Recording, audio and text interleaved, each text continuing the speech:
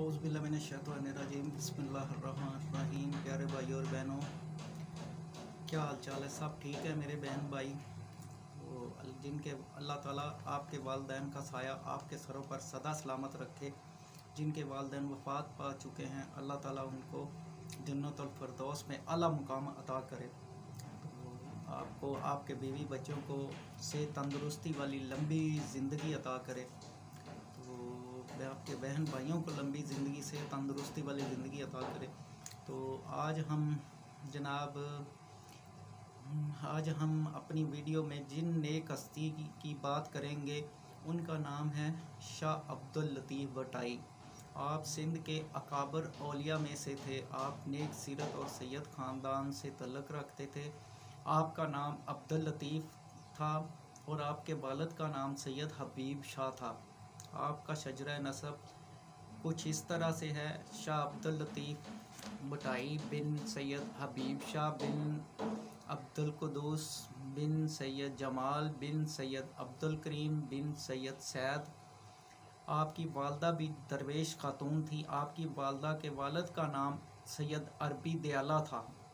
मतलब कि आपके नाना का नाम अरबी दयाला था। आप का सिलसिला जो है वो सिलसिला नसब इमाम मूसा काजम से जा मिलता है। आपके वालद बहुत ही परहेजगार और नेक सिफ्त इंसान थे। आपकी लादत हाला हवेली का एक छोटा सा कस्बा है। वहाँ हुई सोलह सौ उनासी में, सोलह सौ उनासी ईस्वी में उस वक़्त औरंगज़ेब आलमगीर की हुकूमत थी। आपने अपनी इब्तदाई ज़िंदगी, अपनी वालद के, वालदा की जेर साया गुजारी, अपने गाँव में ही, आप बचपन ही से कुछ शक्ल और नेक इखलाक थे। आपने इब्तदाई तालीम अपने वालद से हासिल की, आपने बहुत से इस से इलम हासिल किया, जिनमें से सर फरिस्त हैं। आपके उस्ताद जो नूर मोहम्मद, इनसे आपने बहुत देर तक इलम हासिल किया। तो आपके चेहरे पर हर वक्त संजीदगी, फ़िक्र और परेशानी नज़र आती थी। आपने अरबी, हिंदी, सिंधी, फ़ारसी में किताबें लिखी, कुरान हदीस पर भी आपकी गहरी नज़र थी। आपने अपने जवानी के अयाम अपने वालद के हमरा कोटरी में गुजारे और जवानी का आलम बड़ी बेनियाजी से गुजारा। आपको मौलाना रूम से बहुत मोहब्बत और अकीदत थी और आप अपने सियाहत के ज़माने में आप बहुत से बुज़ुर्गान दीन से मिले। तो जो आपके वालद थे ना तो इनका जो मिर्ज़ा मुग़ल जो है ना, एक रईस था मिर्ज़ा मुग़ल। तो कोटरी का वो उसको, वो उस, बहुत बड़ा ज़मींदार था। तो एक दफ़ा आपके वालद, उनके, आपके वालद जो है ना, वो वो मिर्ज़ा जो मुग़ल था ना, वो आपके वालद का मुरीद था। तो वो जब भी उनका कोई बीमार होता या कुछ कुछ भी उनके, किसी भी ख़ानदान को होता तो वो आपके वालद सैयद हबीब शाह को बुलाया करते थे। तो एक बार आपके वालद बहुत बीमार हो गए तो आप ने उस, आपके वालद ने आपको भेज दिया। तो आप जब गए, उसकी बेटी बीमार थी तो जब गए तो जनान खाने में पहुँचे थे पर्दे से जब नबस देखने के लिए हाथ आया ना तो वो हाथ देखकर इतना खूबसूरत था कि आपको वो देखते ही रह गया। और इसी स्ना में जब उसने अपना, उस लड़की ने अपना हाथ छुड़ाया तो पर्दा सामने से गिर गया। तो आप उस वक़्त, आपकी आँखें पथरा गई उस औरत का हुसन देखकर। तो इस तरह आपको जो मजाजी इश्क जो है ना, वो शुरू हो गया। तो उसी इश्क में आप दर बदर सैर व सियाहत करते करते करते करते जो बलूचिस्तान के इलाके में पहुँच गया, वहाँ पर आपने अपने मुर्शद के पास जिन्होंने आपको हकीकी इश्क दिखाया और अल्लाह ताला की पहचान कराई तो वहाँ से आप जब वापस आए तो फिर वो जब वापस आए तो मिर्ज़ा जो रईस बेग था ना तो उसके महल में डाका पड़ गया था। तो जब डाका पड़ा तो वो डाकू सब कुछ लूट कर ले गए और वहाँ पर कुछ औरतों एक मर्द के अलावा जवान बच्चा ही था। उसके अलावा बाकी सब मारे गए थे। मिर्ज़ा मारा गया था। सारा घर तबाह बर्बाद कर गए। इस तरह आप उसकी बेटी के पास गए तो अफसोस किया तो आपने शादी की पेशकश की तो उसने शादी की पेशकश कबूल कर ली। इस तरह आपको जिससे इश्क था उसको हासिल कर लिया। तो उस वक़्त आप हकीकी इश्क पर भी लग गए थे।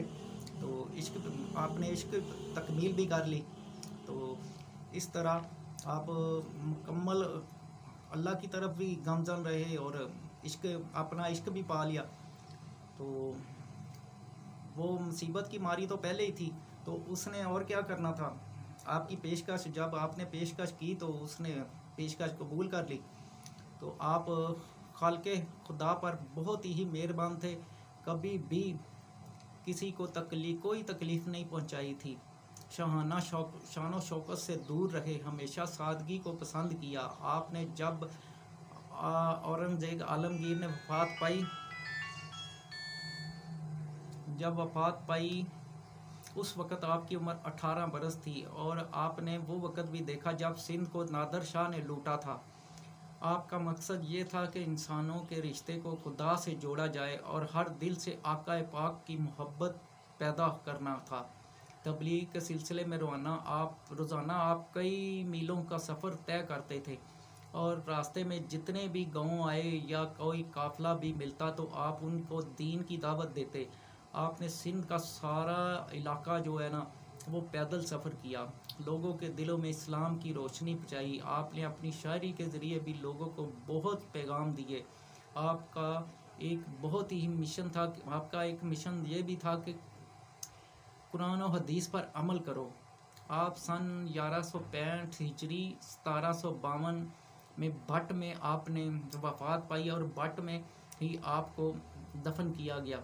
आपका उस सफ़र के महीने में बड़ी धूमधाम से मनाया जाता है, जिसमें मुल्क भर के लोग शिरकत करते हैं और कवाल आपकी शायरी का गा कर लोगों को सुनाते हैं। सिंध के हुक्मरान गुलाम शाह ने आपका रोज़ा बनवाया था। तो आप जो, जब जवानी में थे ना तो एक टीले पर आपने डेरा लगाया। तो सिंधी में टीले को कहते हैं क्यों के फट। तो वो जब शुरू में तो आप अकेले थे वहाँ पर, जब झोंपड़ी डाली एक डेरे टीले पर तो बाद में कई फकरा आपके पास आकर डेरा लगा लिया। तो उस क्योंकि फट तो फट की वजह से बटाई आप हो गए, आपका नाम बटाई पड़ गया। तो ये भी एक जो बात बताने वाली थी, जो मैंने आपको गोश गुजार की। अगर मेरी वीडियो अच्छी लगी हो तो पसंद आई हो तो शेयर और लाइक लाजमी करें। फिर नई वीडियो के साथ मिलते हैं सैयद अख्तर अली शाह को। इजाज़त दें तब तब तक के लिए अल्लाह हाफिज़, खुदा हाफिज़।